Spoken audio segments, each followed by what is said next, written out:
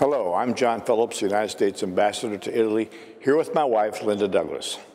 We would like to take a moment today to talk to you about an issue we all should care about, the global scourge of violence against women. The victims are wives, daughters, mothers, friends, and colleagues, women of every race, class, and country. Their attackers are often the men they love and trust the most.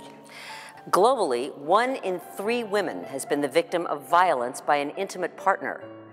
38% of women who are murdered around the world are killed by an intimate partner.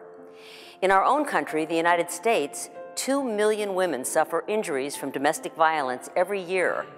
This is a crisis that knows no borders. The United Nations has declared November 25th the International Day for the Elimination of Violence Against Women.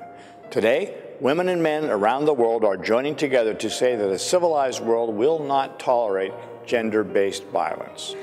We hope you will join the fight to defend the rights of women and girls around the world. We are all responsible for ensuring that there is zero tolerance for violence against women. The time to end this shameful practice is now. Thank you.